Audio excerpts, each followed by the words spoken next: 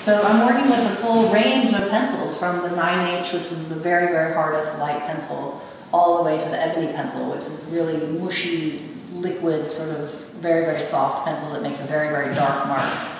So in that range then comes light, comes gradation, comes form. Um, so these are, these are drawn with a parallel bar. Um, and in this particular body of work, I've chosen, rather than working edge to edge of the picture plane, which I've done in the past, I've isolated forms that I saw in my other work and sort of asked myself, like, what happens when what has been uh, an impression of a, form, what happens when it's actually a form?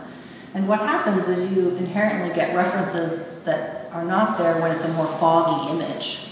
So it's, it's a, a, bit of a reach and it's been a little bit of a risk to do this work because of that. Um, but I'm interested in the, the um, the language of those implications and, and how that creates meaning. So they're paired forms, um, like two pages of a book that are laid open, and there's some ambiguity about whether one form calls the other or one is a shadow of the other.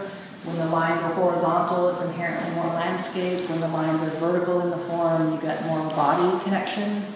So that begins to sort of blur and wander one's reference to what they mean.